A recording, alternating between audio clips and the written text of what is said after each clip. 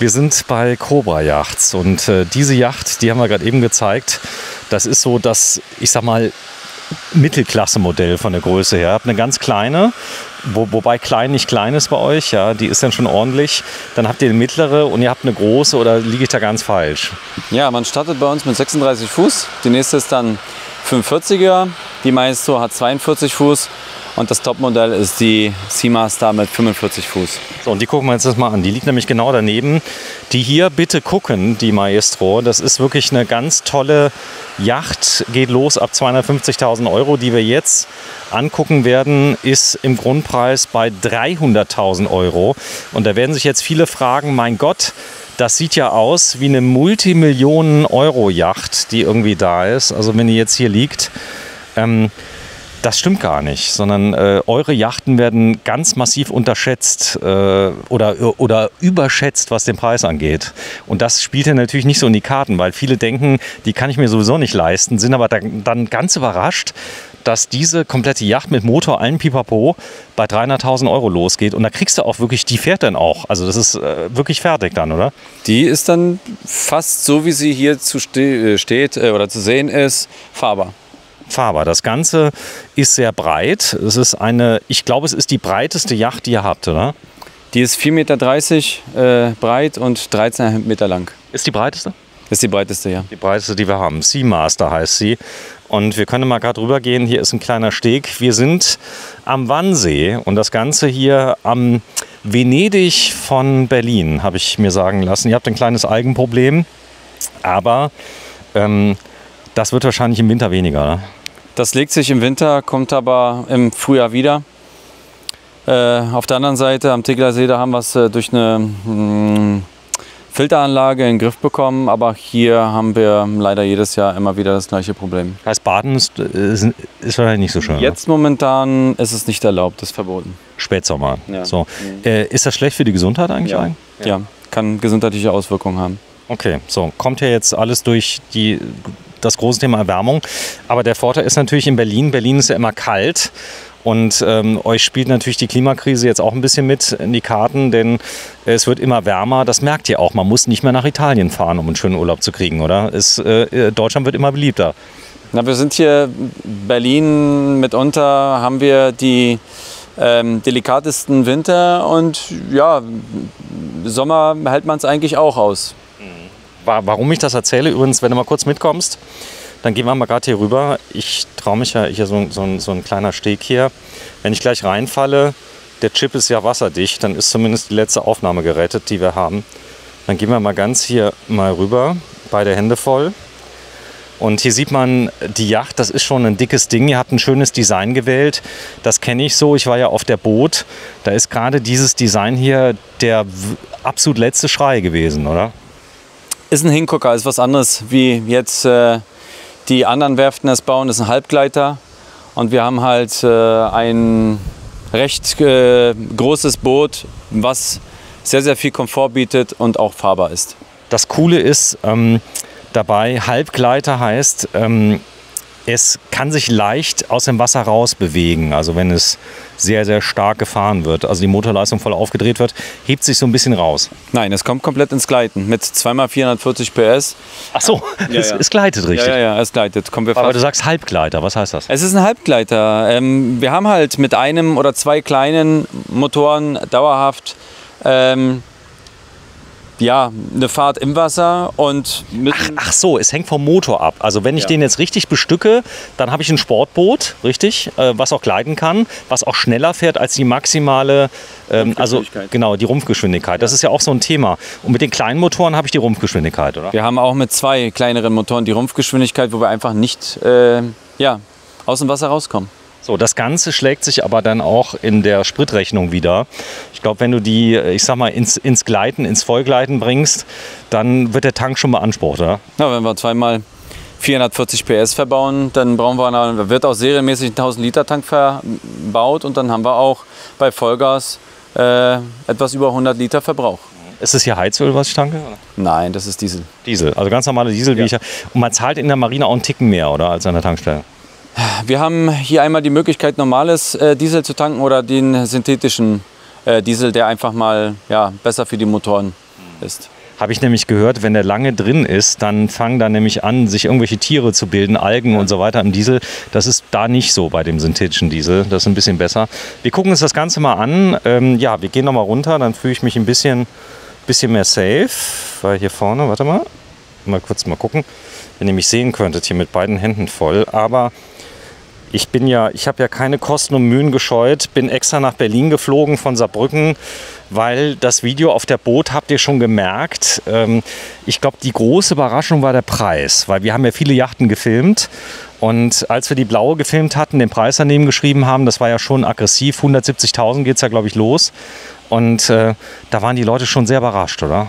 Ja, wir haben mitunter durch diesen Film sehr, sehr viele Anfragen bekommen ähm, und haben jetzt auch nur noch äh, zwei Lieferplätze für die kommende Saison übrig. Für 2024? Ja. So zwei Stück da. Aber so soll es ja auch sein. Wir wollten ja mal ein bisschen auf der Boot beschreiben. Ähm, der Preis ist ja eine Geschichte, die Qualität muss ja trotzdem stimmen, weil es ist ja viel Geld. Das ganze Boot wird komplett aus GFK gebaut. Ihr kommt aus Polen. Ist die Werft denn in der Nähe vom Meer? Nein, die ihr habt? überhaupt nicht. Wo kommt denn die Expertise für GFK her bei, bei euren Leuten? Der äh, Eigner, der Chef, hat äh, angefangen mit Segelbooten und ist dann halt übergegangen auf äh, den Yachtbau, heißt sowas hier. Und dadurch, dass sich halt äh, das äh, nun mal mehr, dass die Anfragen halt nun mal äh, stetig mehr waren für jetzt diese Hausboote slash Yachten, hat er dann aufgehört mit den Segelbooten und ist dann und hat sich dann komplett nur noch halt diesem Thema gewidmet. Nochmal, ihr habt also Hausboote gebaut, die aussehen wie Yachten oder Yachten gebaut, die die Funktionalität vom Hausboot haben. So muss man sagen, ihr habt beides miteinander kombiniert. Richtig, genau. Anfangen mit Segelbooten, das Thema dann halt komplett aufgegeben und ähm, angefangen, Hausboote mhm. zu bauen weil die Hausbootoptik ist natürlich alles andere wie sportlich. Dafür habe ich natürlich viel mehr Raum, den ich benutzen kann, weil es halt kantig, eckig, kastig ist. Aber ähm, das hier ist natürlich ein richtiges Schiff und wenn wir gleich drauf gehen werden, dann werden wir sehen, da haben wir richtig viel Platz. Das Ganze ist GFK. Die Kanten hier, das ist ja ganz wichtig. Wie ist das Boot geschützt, wenn ich denn doch mal irgendwo gegenkomme? Das sind jetzt Gummistoßstangenleisten, die es dann noch in der Premium-Variante mit einer ähm, Edelverzierung geht. Okay, das ist. Ähm, ist es hier die Edelvariante? Nein. Nein. Also ihr habt auch ein bisschen hier Brot und Butter gemacht. Wir gehen mal ganz kurz rüber, stellen uns mal hier vorne hin, dann sehen wir das Ganze nochmal von vorne. Es besteht aus drei Stockwerken. Der Aufbau ist doch wesentlich anders wie beim kleineren Modell. Das kleinere Modell kam mir gerade eben schon ziemlich groß vor. Aber jetzt muss ich ehrlich sagen, ich habe eben mal kurz reingeblickt und da ist natürlich der Wohnraum. Das sind nur, wie, wie viel äh, breiter ist es innen? 40 cm breiter ist die Seamaster wie die Maestro und einen Meter länger. Das ist aber in der Praxis so krass, wenn du beide nebeneinander hast. Ich habe beide hier liegen. Hier ist ähm, die Maestro und da drüben die Seamaster. Und wir könnt euch mal beide Videos angucken, wenn wir gleich reingehen. Du meinst, der Raum ist gefühlt doppelt so groß. Also es ist unglaublich, die 40 Zentimeter, oder? Das ist extrem. Das ist extrem. Ja. Können wir uns mal angucken. Also hier vorne, wo das Schwarze ist, das ist so blickdicht, dass ich tagsüber nicht reingucken kann. Ich kann aber rausgucken, das können wir gleich mal sehen. Ist es nicht zu dunkel vielen Leuten jetzt, im, zum Beispiel im Winter, wenn es bewölkt ist? Nein, wir raten den Kunden immer eine helle Innenausstattung zu nehmen. Das ist halt hell und freundlich. So, ist der dabei, der Anker? Der Anker ist nicht mit dabei. Gut, der kommt extra. Sollte man aber haben, weil der Motor könnte ja mal natürlich entsprechend havarieren. Man kann ja auch einen Wurfanker reinmachen. Oder? Ja, könnte man. Könnte man. Also, also der ist jetzt fest montiert. Das Sundeck, das ist aber dabei. Das Sundeck ist dabei, ja. Okay, sehr schön. Also da kann man sich dann hinlegen. Das wäre mein Platz. Würde ich mir allerdings noch einen Sonnenschirm hinmachen. Ist die Möglichkeit äh, gegeben, einen Sonnenschirm zu montieren? Oder ein, Wir haben die Möglichkeit, hier im vorderen Bereich ein Sonnensegel zu bestellen. So, so ein Tarp, was dann gespannt ja, wird. Ja. Hm. Sehr cool. So, und hier kann ich langlaufen, das werden wir gleich mal sehen. Das Ganze ist dazu gedacht, dass es bewegt werden kann. Viele benutzen es aber auch, haben es einfach festliegen als Wochenendhaus. Und da bietet sich hier Berlin an. Ihr bietet jedem, der sich bei euch so ein Boot kauft in einer Marina hier am Wannsee, äh, die Möglichkeit, einen Liegeplatz auch zu erwerben. Kann mir den jemand wegnehmen, diesen Liegeplatz? Oder wie, wie läuft das? Solange wie man sich normal verhält, kann einem der niemand wegnehmen. So, das heißt, ich miete den an. Das ist praktisch eine Parzelle, die ich habe. Und wenn ich jetzt hier wegfahre, ist der reserviert, der Platz für mich, wenn ich wieder wiederkomme? Das ist ja der Liegeplatz vom Eigner, genau. Ja, ist ja klar, weil für mich ist das ja neu. Also wenn ich ihn reserviere, ist wie ein Parkplatz, reservierter Parkplatz. Wenn da einer steht, kann ich ihn abschleppen lassen. Richtig, genau. Es passiert aber nicht in der Praxis. Nein, es passiert nichts. Okay, es gibt ja auch hier wahrscheinlich in der Marina praktisch Gästeanlieger, wo ich dann auch mal fahren kann. Wenn die voll sind, sind sie voll. Ähm, der Wannsee ist riesig. Du kannst von hier aus tatsächlich an die Ostsee fahren, ne? Wir könnten von hier aus halt in alle Richtungen fahren, ja. Nach Frankreich? Ja. Sehr schön. So, komm, wir zeigen das mal. Hier geht es jetzt gleich rein. Du hast die Schuhe noch nicht ausgezogen, das wirst du gleich machen. Und ich trete jetzt mal hier rüber. Und jetzt merkst du, 40 Zentimeter ist ja Wahnsinn. Also das sollte man sich wirklich live angucken. Der Steg hier ist ein bisschen breiter. Innen aber eine etwas andere Aufteilung. Und hier hast du natürlich, wie, wie nennt man den Bereich hier hinten? Das Cockpit. Das Cockpit. Mhm. Wir haben dieses Sofa, diese Lounge, die ist optional. Wir haben Standard im hinteren Bereich äh, eine Reling. Wie bei allen unseren Modellen haben die Möglichkeit hier ein Bimini oder halt ähm, einen Schirm, also eine Verlängerung halt zu bestellen. Äh, ja, womit man dann halt geschützt von der Sonne sitzt. Es hat auf dem Sonnendeck nicht die größte Fläche, das ist tatsächlich die Maestro, aber der Innenraum, der Wohnraum, das ist der größte von allen, die ihr habt, oder? Richtig, genau. Genau, also das ist immer so, muss man sich ja entscheiden. Und ähm, es ist schon sehr jachtig. Das heißt, der Boden hier, das ist spezieller Flexteak, glaube ich, nennt ihr das? Oder äh, wie, Das wie ist kein echtes Holz, das ist Kunstteak. Kunstteak? Hält das denn lange? Das muss man nicht ölen, das muss man nicht schleifen. Da sollte man halt eigentlich nur darauf äh, achten, dass man nicht mit Schuhen drauf geht. Ist, ist der Tisch denn Teak? Der Tisch ist auch Flexiteak. Flexiteak. Auch den muss ich nicht ölen, nicht schleifen? Nichts, nichts. Nix. Der einzige Nachteil ist halt der, dass dieses Material äh, ein Kunststoff ist und das sich natürlich bei Sonneneinstrahlen extrem aufheizt. Ist so. Ich kann aber noch drüber laufen, ne? Ja. Ja, ist ja hell. Also wenn es schwarz wäre, wäre doof. Na, wir können das in allen Farben bestellen. Wir können das in Grau, in Hellbraun. Äh, wir können das wirklich in allen Farben bestellen. Auch die Fuge. Äh, Da, da vorne ist grau zum das- Beispiel. Da sieht man genau. da sehr schön, wie ist. Also da kann ich die Farben wählen. Ich kann sowieso auch innen alle Farben wählen. Ich kann sogar, das ist das Coole, ich kann sogar sagen, das Boot hätte ich gern blau. Das Ja. kostet aber ein bisschen mehr. das ist dann wieder ein Aufpreispunkt. So, aber wir haben es in Blau gefilmt, das hat die Leute ziemlich angefixt. Ist aber so eine Farbe, wo man sich dann sagt, okay, sieht zwar geil aus, aber will ich es denn wirklich in Blau haben? Weil du bist natürlich in Blau auf jeder Marina nicht alleine dann. Die Leute kommen noch mehr.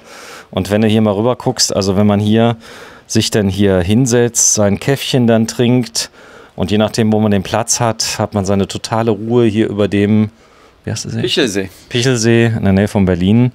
Und dann blickt man dann herein und sagt, du Sven, mach mir doch mal bitte meinen Kaffee und massiere mir anschließend die Schultern. Ich habe so ein neues Akku-Massagegerät, weiß nicht, ob du das kennst, mit so einem Ja, ja. vorne Ja, drauf. Du kennst das. Ja, habe ich selber. Habe ich auch, hat, war schweineteuer. 300 Euro, sogar ein bisschen mehr, aber ist geil. Ja, hilft. Also wenn du irgendwelche Verspannungen hast. Links unten eine Backofen-Mikrowellenkombi. Ja, Mikrowellen-Backofen-Kombi. Daneben eine größere Spülmaschine wie. Zeig mal bitte die Bei Spülmaschine. der Maestro. Also guckt euch die an, das ist jetzt schon eine, Ein Haus. Eine, eine Haushaltsspülmaschine. Die andere, das war so eine, so eine, so eine Schubladenspülmaschine, aber tut's denn auch? Der Kühlschrank ist der gleiche, auch den mal bitte öffnen, dass wir den haben, denn die Küche kommt nämlich erst. Das hier ist die zweite Ablagestelle. Vitrifrigo, auch hier fehlt das Bier, das war eben noch drin. Aber unten haben wir eine große Getränkeschublade, mach mal bitte auf. Gefrierfach war oben und das ist natürlich hier Schiffsbau Vitrifrigo, kommt immer mehr allerdings in den Bereich Camping mit rein.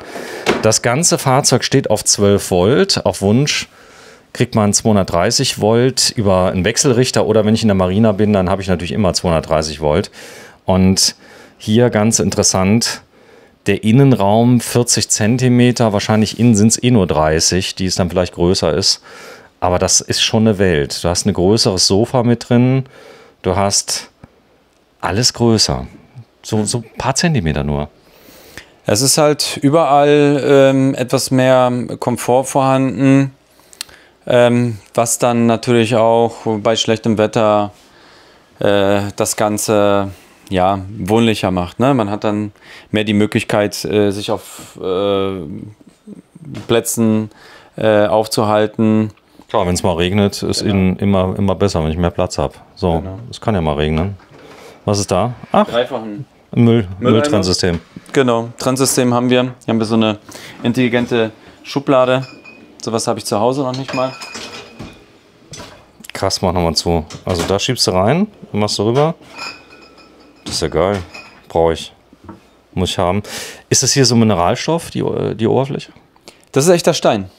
Stein. Ja, wird äh, serienmäßig von uns verbaut. Wir haben aber die Möglichkeit, halt auch ähm, andere ähm, Tischplatten auszuwählen. So, also Haushaltssachen da oben hast du eine Oberschränke, machen wir auf bitte.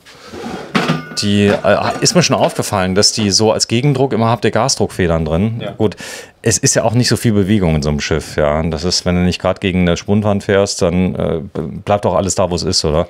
Hier auf Binnengewässern ist das alles ja, Easy. halb so schlimm wie auf der offenen See. Gott, hier drunter hast du einen Kühlschrank. Zeig auch mal hier bitte. auch nochmal einen Getränkekühlschrank. So eine Schublade. Ganz praktisch. Denn, wenn du mal Gäste hast, und du wirst die hier wahrscheinlich haben, wenn du lieb bist. Ja. Ach, der Fernseher. Guck mal hier. Ein 32 Zoll. Ja, haben wir, das ist die allererste Seamaster, die wir gebaut haben. Hier haben wir noch einen 32 Zoll äh, verbaut, aber hier können wir ganz locker 40, 42 Fuß äh, Fuß oder Zoll? Zoll. Bin schon bei. Ja, die. Und wir zeigen demnächst einen neuen Laserbeamer. da kannst du in kann man 42 mit Fuß machen. Ja, das ist so. Aber das, du ganz ehrlich, ich gucke gar nicht mehr so viel Fernsehen. Also abends mit ein kleines bisschen Netflix. Heute habe ich geguckt, ähm, eine Serie über eine Frau, die vermisst wurde. Ist Missing bei Netflix. Okay. Im Flugzeug habe ich es geguckt. Aber auch nur, weil ich irgendwie, keine Ahnung, die Zeit totgeschlagen habe, die da ist. Ich glaube, das echte Leben findet draußen statt. Und hier hast du die perfekte Symbiose aus draußen und drinnen. Hier kann man sehr, sehr viel ähm, draußen sowie drin machen. Sehr schön. Also das Highlight ist aber wirklich ähm, das Bett, weil das ist ein gutes Stück breiter wie das andere Bett. Das Masterbett ist nochmal ein Stückchen. Alles ist ein bisschen breiter.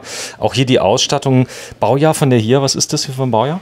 Das ist hier eine ähm, 2000 und äh, also gebaut in 2000 Ende 2020 ausgeliefert 21. 21. Das heißt auch heute, ihr verwendet andere Sachen mittlerweile ein bisschen. Es wird komplett ja, wir haben sehr sehr viele.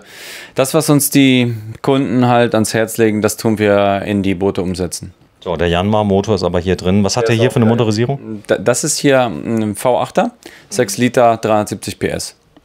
Benzin.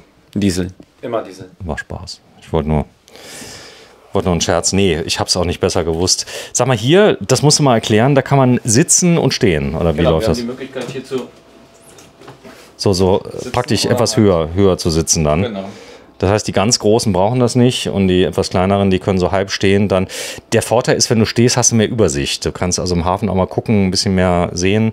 Eine Rundumkamera auf Wunsch. Äh, Ich meine, du, du bist ja Crack, du brauchst sowas nicht. Ja, auch eine Rundumkamera kann man hier bei der Seamaster mitbestellen. Also 360 Grad geht auch, Genau. dass ich äh, sehen kann von Ja. oben mein Die Boot. Finde find ich total interessant, weil die meisten Leute sagen, brauche ich ja alles nicht. Ich bin ja, bin ja so gut bis zum ersten Anstoß. Ähm, Schrammen kann man reparieren, GFK kannst du gut reparieren. Ne? GFK können wir komplett wieder herstellen. So, da ist ähm, ja, das Steuerrad und dann mal bitte hier anmachen. Ray. Ray, wie, wie heißt das? denn? Raymarine. Raymarine. das Axiom, 12 Zoll. Habt ihr nicht das billigste genommen? Nein. Also man kriegt äh, Serien, in der Serie halt ein kleineres Gerät, äh, ein 9 Zoll. Aber äh, auf diesem Gerät kann man halt äh, auch einen Kartenplotter, die gesamten Detail, ähm, Daten vom, vom Boot halt äh, mit ablesen. Spiele spielen? Kann ich Android installieren? Man kann Netflix drauf schauen. Echt? Ja. Ehrlich?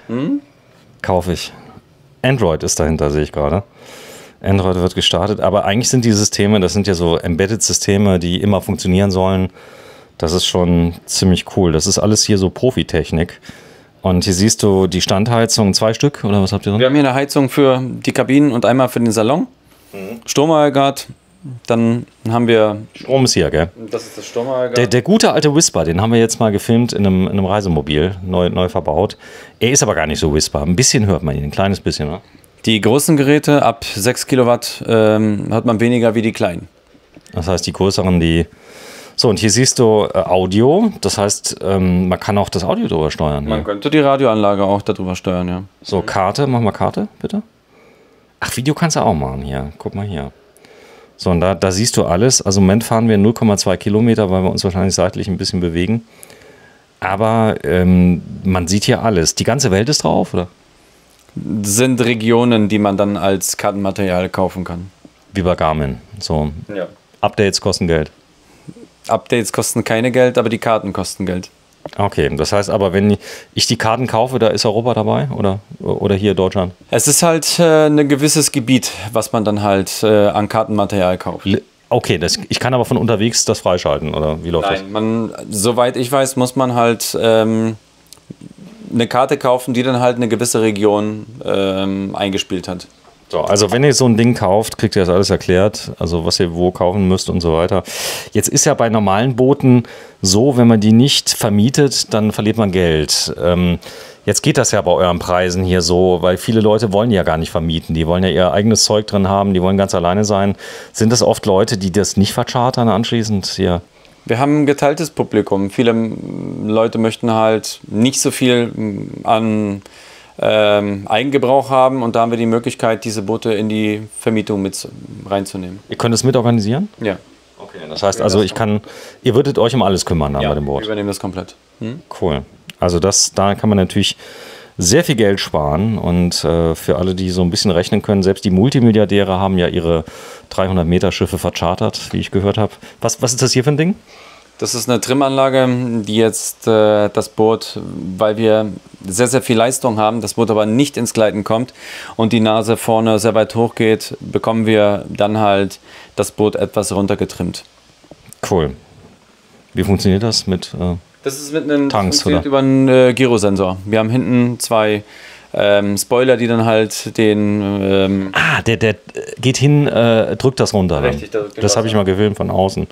So, da ist der Batteriemonitor, der blinkt. Warum? Weil hier irgendeiner uns von Landstrom äh, entfernt Getrennt hat. Ja, getrennt hat und deswegen zeigt er uns an, dass wir halt dementsprechend, dass die Batterien halt nur noch 50 Prozent. Okay, also geht. So, und das Ganze hier, hier unten, wa- wa- was ist das hier? SOS? Das ist kein SOS, das ist äh, der Scheinwerfer oben auf dem Dach. Steht da SOS. Ja, ja, ja, aber das, kam, das ist dann halt so ein SOS-Lichtsignal, was man abgibt. Ah, okay. Da, das da oben, was ist das hier? Start, Stopp? Der Start-Stopp für den Motor. Hier noch bei den ersten Modellen ein analoger, ähm, eine analoge Ruderstandsanzeige. Bei den neuen ist es halt digital dann halt mit ähm, im Kartenplotter integriert. das ist die hier, die, die Ruderanzeige. Okay. Oh, ich finde das ganz gut analog. Also das Ja? ist, äh, ist wäre wär so genau mein Ding. So hier vorne, da haben wir noch ein bisschen mehr. Und das ist natürlich das Allerwichtigste. Wenn ich also hier nach vorne drücke, ungefähr, in wie viele Sekunden wäre ich hier in der O-Hammer? Ja, drei Sekunden, drei, vier Sekunden. Drei, vier Sekunden. Gut, aber das wollen wir ja nicht. Deswegen, wir würden ja dann hier nach rechts fahren. Jetzt ist ein bisschen Wind. Wäre das hier gefährlich für das Boot? Nee, nein. Geht schon ein bisschen Wind, oder? Merkst es schon. geht schon ein bisschen Wind, aber dadurch, dass wir bei der Seamaster zwischen 13,5 und 15 Tonnen haben, äh, die da im Wasser stehen, sind wir, wir sind zwar windanfällig, aber nicht so sehr wie kleinere Boote. Sag mal, hier vorne diese, diese Buchstrahlruder, die gehen wahrscheinlich elektrisch, oder? Das, die, sind, die sind separat über jeweils eine Batterie gesteuert und sind elektrisch, ja. Cool. Also da kann ich das nämlich auf der Stelle entweder wenden, ich kann es vorne korrigieren, hinten korrigieren. Das ist ein Traum. Eins ist, glaube ich, dabei. Vorne oder hinten was dabei? Das Bugstahlruder ist immer mit dabei. Bug ist hinten. Vorne. Vorne. Ich wollte ihn mal testen. Wo, wo ist Steuerbord? Rechts, links? Steuerbord, da wo du sitzt. Gut, also in Europa ist es ja immer hier. Da kann man sich übrigens leicht merken, das Steuerbord ist wirklich rechts und meistens ist es auch rechts, aber manchmal ist es auch links. Habe ich ja gerade bei Hausbooten. Habe ich das gesehen. Hier, hier oben. Das ist aber alles quasi dann neuester Stand. Trotzdem, das Boot hier entspricht ansonsten Inneneinrichtung, Maße, Größe. Das GFK macht ja nicht siebenmal, sondern die Formen, die praktisch Negativformen werden ja einmal kreiert und dann werden daraus Boote gezogen. Der Innenausbau ist jetzt aber mm, durch die drei Jahre halt, hat sich der Innenausbau etwas verändert. Auch gar nicht schlecht. Also ich glaube, ich, glaub, ich würde es so nehmen. Wenn der Preis gut ist, steht es zum Verkauf? Hier das, zum Verkauf, ja. Preis, was kostet es? 450.000 brutto. Wie es hier steht. Ja. Ist auch ausweisbar. wären es 550. Okay, also kann ich knapp 100. Ja, ist es denn viel gefahren? Hat es viele Kilometer runter? 90 Stunden knapp. Stunden, da muss ich mich dran gewöhnen. Es hat ja keine Reifen, ja. Ich brauche äh, auch keine Winterreifen, keine Sommerreifen. All das. Gibt es eigentlich einen TÜV für Boote? Gibt es sowas? Ein TÜV für Boote gibt es nicht, aber ähm, ja, um das Boot halt auch irgendwann wieder zu verkaufen, sollte man regel regelmäßig Service warten. Das heißt die Maschine und so weiter. Was fällt da an im Jahr für die Maschinenwartung? Ja, je nachdem, ob ein oder zwei Maschinen verbaut sind, muss man um die 1000 Euro rechnen. Gott, aber das hält ja noch in Grenzen. Ein großes Reisemobil kostet ein Vielfaches, so viel kann ich euch sagen. Wir gehen mal runter. Unten haben wir da ein großes Schlafzimmer. Und du darfst ruhig mal vorgehen. Du bist 1,80 Meter groß, dann sieht man sehr schön, hier ist übrigens Scheibenwischer mit dabei, da habe ich schon gelernt. Einer ist, glaube ich, dabei, ein Scheibenwischer, oder sind hier zwei? Scheibenwischer ist immer mit dabei. Beide.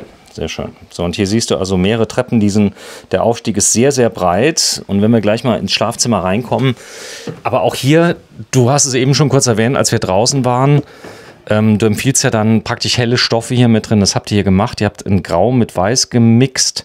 Hier vorne habt ihr schöne Stoffe mit rein. Ja, die Polen, die Polen haben es drauf, muss man schon sagen. Ja, definitiv. Also von der Verarbeitung kann man hier nicht meckern. Ihr wart ja schon ein Highlight auf der Messe. Also euch hat man verbannt in eine gewisse Halle. Das war jetzt nicht die schlechteste Halle, muss man sagen. Hatte, gegenüber hattet ihr einen schönen, ich sag mal, Wettbewerber, so schräg gegenüber, du weißt, wen ich meine. Ja. Und ähm, ihr habt ja jetzt nicht den großen Namen von Werften, die irgendwie schon seit 50 Jahren irgendwelche Boote bauen. Wie, wie seid ihr denn wahrgenommen worden auf der Messe bei den Preisen? Äh, alle wollten mal schauen. Ähm nicht alle konnten es, weil die Schlange halt fast ununterbrochen bis an den Gang äh, ging. Und ähm, wenn die dann halt auf dem Boot drauf gewesen sind, ähm, gab es eigentlich nur Positives zu hören. Der Preis ist wirklich das Einschneidende. Also ich habe so viele Boote gefilmt, jetzt klar größer als das hier, keine Frage. Aber die waren so schon bei einer Million aufwärts, teilweise 1,5, 2 Millionen und so weiter und so fort. Dann ähm, Princess zum Beispiel. Also die haben ja auch wirklich tolle Boote. Kann man jetzt nicht vergleichen, weil die liegen natürlich dann auch in den Meeren, die sind dann auch mal hochseetauglich mhm. und so weiter. Das hier ist eher so ein Boot, was du dann ähm, am Meer an, äh, ich sag mal, ranfährst an der Küste zum Beispiel, würdest du das fahren, oder? Wird ja, das gehen? Ja, wir haben sehr, sehr viel nach Kroatien verkauft. Mhm. Und ähm, ja, seitdem die Seamaster auf den Markt gekommen ist, haben äh, die äh, ja kaum mehr die Futura bestellt, sondern ist eigentlich fast nur noch äh, als Seamaster in B-Spezifikation. Die große. Ja. Äh, die die B-Spezifikation, das ist, glaube ich, dass die mehr Wellengang kann, oder? Dann ja, dass die halt äh, seetauglich, seetauglich. Seetauglich. Okay. Ich kenne mich ja nicht so aus. Ich habe ja. ja keinen Binnenführerschein. Du hast natürlich einen Binnenführerschein. Ja. Gut. Binnen und See. Binnen, Binnen und See. So. Ist gar nicht so schwer. Also Fahrstunden, wie viele Fahrstunden macht man dann? Für eine Weiß ich ehrlich gesagt nicht mehr. Ich habe den vor. Schon lange her. Ja, sehr, sehr lange her gemacht. Gott. So, also das Bett ist dabei. Bettmaß, was haben wir hier? Meter 50? 1,50 Meter mal 2 Meter, ja. 1,50 Meter mal 2 Meter. Da ist ein Wohnraumteppich, den kann man tauschen. So viel habe ich schon gelernt. Dann natürlich, wir haben uns eben drüber gefragt, ja, ist denn hier auch ähm, hell genug? Ja, absolut, muss man sagen. Hier ist es eher dann zu hell, je nachdem, wenn die Sonne scheint. Und beheizt werden kann es auch. Man kann es 24 Stunden 365 äh, Tage im Jahr benutzen, das Boot? Ja. Oder gibt es so praktisch Temperaturen, wo ich sage, jetzt muss ich das Boot abschalten? Man sollte dann schon sich überlegen, ob man das Boot nicht voll klimatisiert nimmt, um über die Klimaanlagen das Boot zu beheizen. Wärmepumpe, weil ja. das Coole ist, ähm, es wird ja nicht so richtig kalt und nicht so richtig warm, mhm.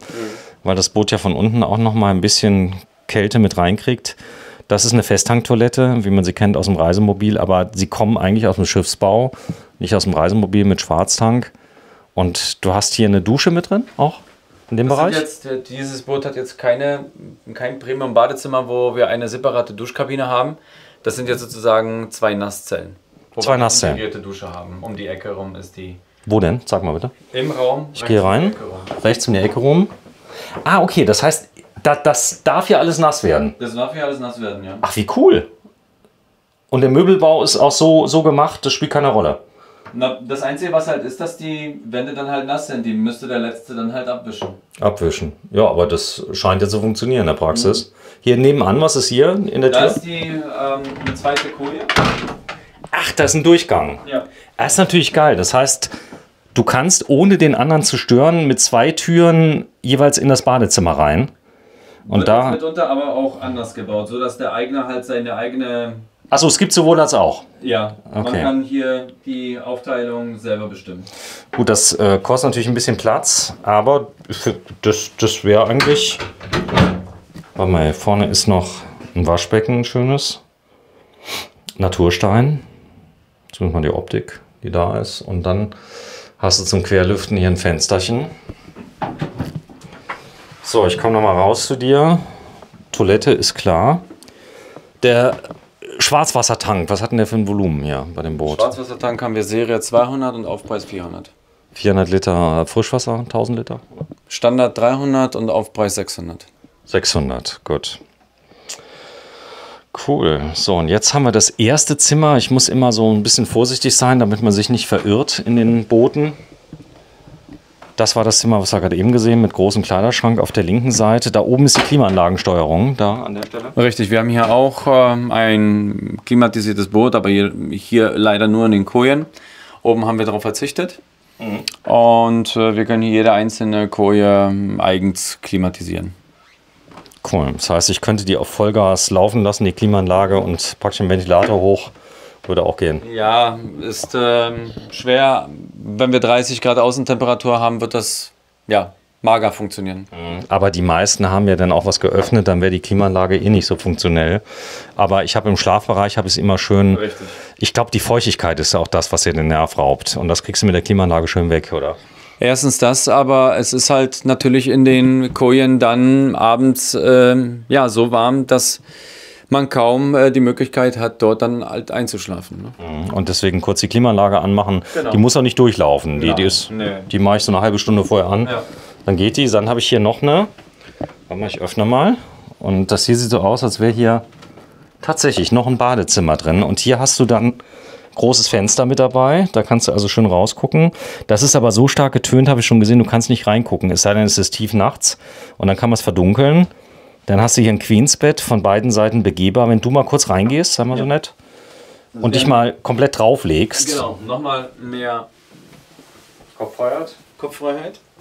Und haben hier 2 Meter mal 1,60 Meter Anliegefläche. Ja, plus natürlich den Ausblick, je nachdem, wo ich liege, auf die schöne kroatische Küste mit übrigens Fliegengitter, die gibt es hier mit dabei. Alles ist an der Seite nochmal beledert, da vorne ist der Klimaanlagenauslass und hier hast du dann noch ein bisschen Stauraum.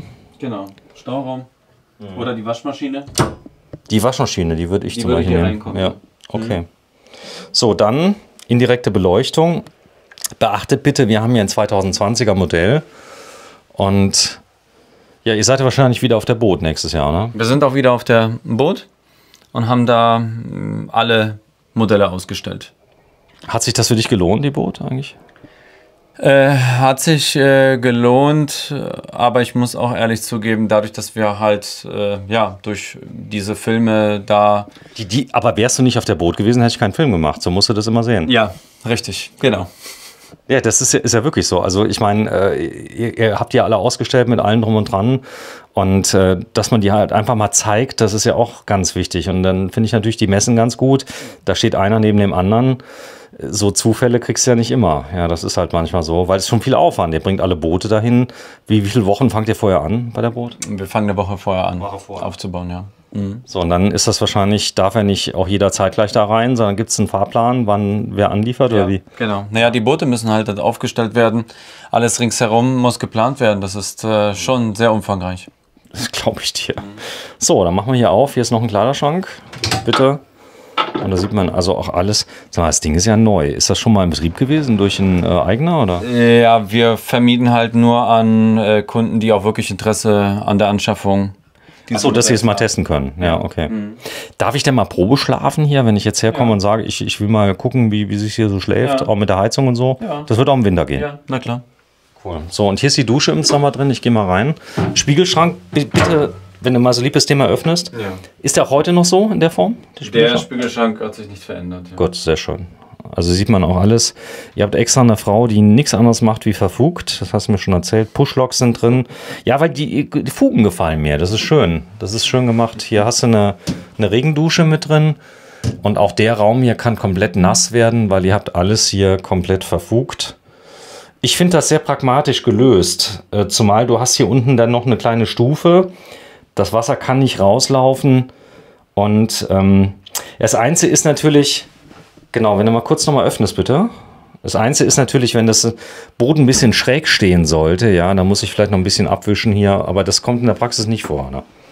Sollte eigentlich nicht vorkommen. Nein, da will jedes einzelne Boot separat ausbalancieren.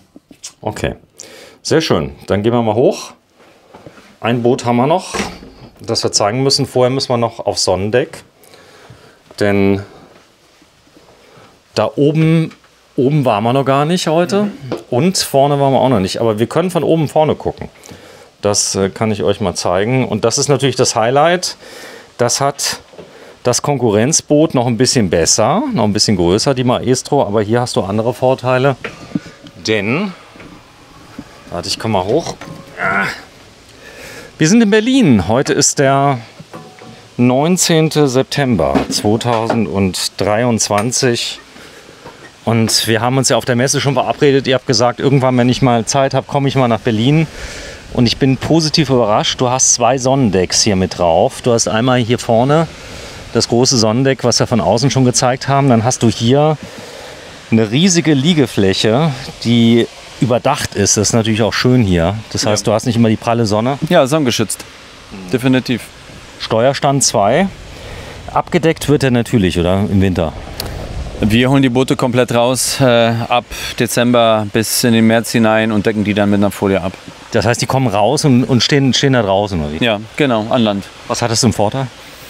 Naja, wenn man die Boote, man muss, äh, man darf halt äh, die Witterungsverhältnisse nicht äh, außer Acht lassen. Ne? Das Boot äh, im Winter zu waschen bei 0 Grad oder knapp über dem Gefrierpunkt äh, ist nicht mehr so komfortabel wie im Sommer. Ne? Ihr legt das trocken und dann wird es unten auch nochmal gereinigt, bevor es reinkommt. Wir machen Unterbodenreinigung, gegebenenfalls nochmal Auffrischung vom Anti-Fouling und dann wird es äh, zugemacht und kann im Winter auch besichtigt werden. Tja, Anti-Fouling ist so eine Schutzbeschichtung, das habe ich gelernt auf der Boot, damit die Algen, glaube ich, sich nicht dazu zu, zu sehr ransetzen, oder? Richtig, genau. So, dann, was hast du hier noch? Eine Schublade? Was ist hier drunter?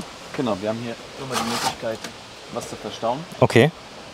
Das ist auch wasserdicht, das sehe ich gerade. Das ist alles wasserdicht. Alles wasserdicht. Hier vorne hast du dann noch eine Einmal. schöne Kombi. Größen Kühlschrank. Ist das ein Gasgrill? Was ist hier drauf? Das ist ein Elektro. Elektrogrill. Da Ach, hier hier hast du-. Wir haben hier auch kein Gas an Bord. Hier hast du Florida-Eis für mich wir haben gekauft. Florida-Eis, ja. Das fand ich ja nett. Das ist ja schön. Hast du an mich gedacht? Snickers Weiß mag ich auch, nehme ich auch. Und auch wieder warm Wasser. Aber das, diese ähm, Wetbar wird auch wiederum schon wieder anders gebaut wie bei der Maestro. Also, wenn ihr mal Lust habt, kommt am besten nach Berlin. Guckt euch äh, das Wunder mal an aus Polen. In Polen werden sie gefertigt. Du selbst sprichst Polnisch, weil deine Frau aus Polen kommt. Und äh, du konntest aber nicht Polnisch irgendwann Nein. mal. Du hast es gelernt, von der. Pike auf. Alles durch meine Frau. So, Sag mal irgendwas auf Polnisch. Dzień dobry. Ja, das kann ja jeder. Aber der, der, der irg- irgendwie, sa- sag mal, wir, wir sind, sind hier in Berlin. Okay, jesteśmy w Berlinie, Berlinie zapraszamy. ich ich glaub's ja. Gut. Also, ziemlich cool. In einer, in einer Stunde ist man ja in Polen und was, ich meine, die Problematik ist ja heute, wenn du heute hier äh, ähm, eine Fabrik aufmachst und suchst mal eben 500 Mitarbeiter oder 20 nur, das ist ja in Deutschland fast unmöglich, gute Handwerker zu finden. Äh, in Polen gibt's noch ein paar. In Polen gibt es noch ein paar, aber mittlerweile ist es auch äh, schwer geworden, da vernünftige Facharbeiter zu finden. ist ein Hochpreisland geworden im Vergleich zu, wenn man also weiter in den Osten geht, was irgendwie kommt. Aber ähm, ich muss ehrlich sagen, es geht ja nicht nur darum, dass äh, sowas in Deutschland nicht gebaut werden kann, sondern die Länder, die natürlich viel mehr äh, und viel, äh, ich sag mal, Seen haben und Flüsse und in Polen gibt es ja deutlich mehr Seen als in Deutschland. Also es ist ja äh, die masurische Seenplatte allein, sage ich mal, die es da so gibt und so weiter, die haben schon viel Expertise mit Booten. Äh, Sag ja. ja, Sehr schön. So, sehr schön. Also wir sind bei Cobra Yachts. Ganz da hinten könnt ihr es sehen. Das Ganze könnt ihr besichtigen in Berlin und ihr könnt es einfach googeln. Und du hast nämlich freundlicherweise auch ein Hemd angezogen. Cobra Yachts, so wird es geschrieben. Am besten gebt ihr das mal in Google ein und da könnt ihr auch dieses Modell sehen. Namens, wie heißt das? Kobayachts. Nee, dieses Modell. Das ist die Seamaster 45. Seamaster 45 und geht los ab 300.000 Euro. Da ist natürlich hier dieser Steuerstand dann nicht dabei, aber da lasst ihr euch am besten mal beraten. Tschüss. Ciao.